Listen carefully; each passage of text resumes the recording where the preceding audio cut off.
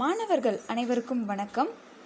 உங்களுடைய ஒப்படைப்பு கேள்வித்தாள்களுக்கான பதில்களை நான் உங்களுக்காக கொடுத்துருக்கேன்.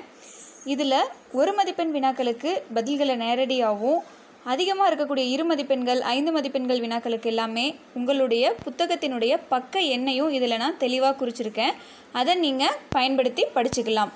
வாங்க பதிலுக்கு போகலாம்